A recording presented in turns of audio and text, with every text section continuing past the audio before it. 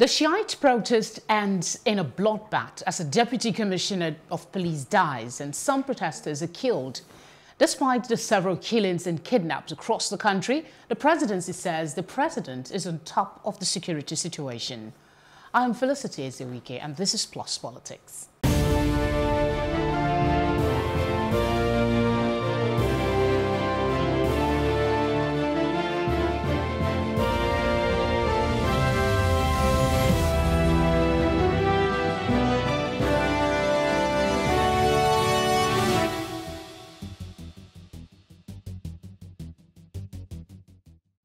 Members of the Islamic Movement of Nigeria, IMN, have once again clashed with police officers during the protest in Abuja. The group, also known as Shiites, began the protest at Nitel Junction and marched towards the Secretariat.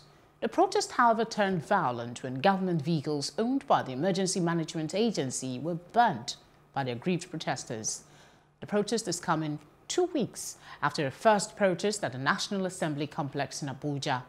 The Shiite protesters are calling on the Nigerian government to release their leader, El Zakzaky, who has been in detention since 2015.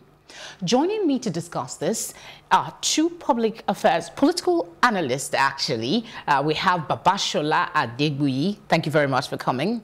And of course, a familiar face as well, Ugochukwu Ikeakor. Always a pleasure to have you join Thank us.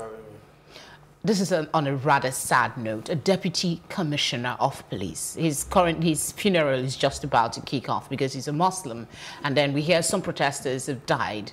There seemed to be an escalation in this violence. What is your reaction? I think it's it is an unfortunate incident, all right? But uh, we're here because the government has brought us to this particular point. When I talk about the government, I talk about the executive arm of the government. Uh, since 2015, the court has asked that El Zakzaky, you know, a few years back, El Zakzaky should be released, all right?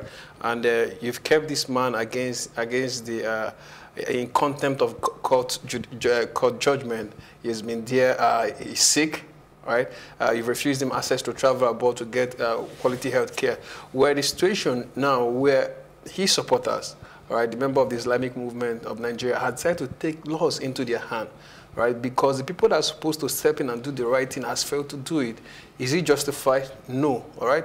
But the issue is that uh, one thing that is clear is that the Nigerian government and the Nigerian police, there's one thing that they don't, they don't know how to do is how to manage protesters. All right.